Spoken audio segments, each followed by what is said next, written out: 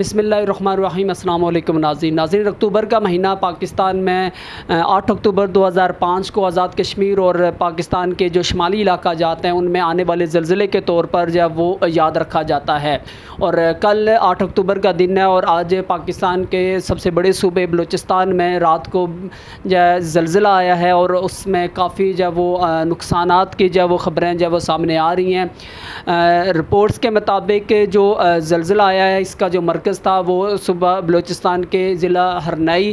تھا اور اس کے علاوہ جو اس کے دیگر جو اضلاع ہیں خزدار ہے، یوب ہے لورالائی ہے، قلعہ سیف اللہ ہے اور دیگر جو پشین ہے، زیارت ہے، اس طرح کے جو اضلاع ہیں، وہاں پر بھی جب وہ زلزلے کے، جب وہ شدید جھٹکے محسوس کیے گئے ہیں، اس کی گہرائی تقریباً پندرہ کلومیٹر زیر زمین تھی اور اس کی جو شدت تھی، وہ پانچ شریعہ نو تھی۔ جب وہ رپورٹس کے مطابق اب تک تقریباً بیس افراد جب وہ اس زلزلے کی وجہ سے ہلاک ہو چکے ہیں اور تقریباً تین سو افراد جب وہ زخمی ہونے کے بھی اطلاعات ہیں۔ اور تقریباً پچاس کے قریب جو کچے مکان امکانات تھے، وہ بھی جب وہ زمین بوس ہو گئے ہیں۔ چونکہ یہ جو علاقے ہیں، پہاڑی علاقے ہیں، دور افتدہ علاقے ہیں، تو وہاں پر ہیوی مشینری اور امدادی کارکنان، امدادی سرگرمیاں شروع کرنے میں کافی جب وہ ٹائم میں لگ رہا ہے۔ پی ڈی ایم اے جو کہ پاکستان میں ڈیزاسٹر مینجمنٹ اتھارٹی ہے، جو کہ اس طرح کے واقعات کو ہینڈل کرنے کے لیے جو ادارہ بنایا گیا ہے۔ انہوں نے ہیوی مشینری اور جو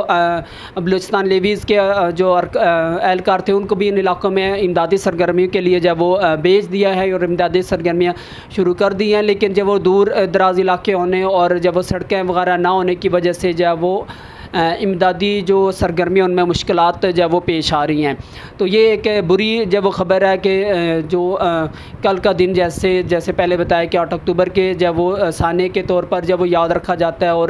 اسی موقع پر جب وہ مزید پاکستان میں جب وہ زلزلے کی خبر آنا اور اس میں ہلاکتوں کا جب وہ بہت ہی جب افسوسناک جب وہ یہ واقعہ ہے اللہ تعالیٰ اس میں جب وہ جو لوگ ہلاک ہوئے ہیں ان سب کی مغفرت فرمائے اور پاکستان کو اس طرح کے جب وہ مزید آزمائشوں سے جا وہ بچائے۔ آپ اس چینل کو سبسکرائب کر لیں جیسے کوئی مزید اپڈیٹ آئیں گی تو وہ بھی آپ کو انشاءاللہ جب وہ اس چینل پر ضرور جب وہ ملیں گی۔ مجھے اگلی ویڈیو تک کے لیے اجازت دیں۔ اللہ حافظ۔